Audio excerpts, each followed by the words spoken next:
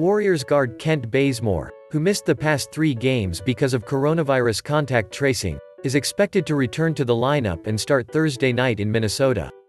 Bazemore, 31, has been in the NBA's health and safety protocols for seven days.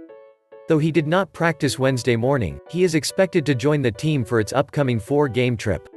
His return will be a boost for the Warriors' backcourt that will be without guard Damion Lee, whose time in the league's health and safety protocol is expected to last longer than Bazemore's.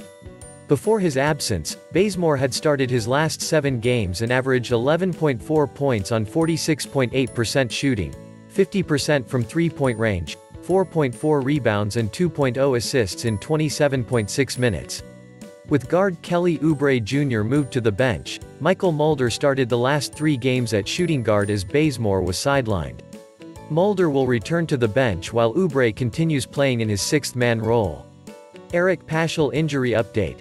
Paschall, who has missed the last 13 games with a left hip flexor strain, could return at some point during the Warriors trip, which ends with back-to-back games Monday and Tuesday in New Orleans. Paschall participated in a light 5-on-5 scrimmage Wednesday morning. Paschall, 24, said he struggled to walk after initially suffering the injury in an April 2 loss to the Raptors, but that now he's feeling a little better. Now, it's just about starting to feel more like myself again,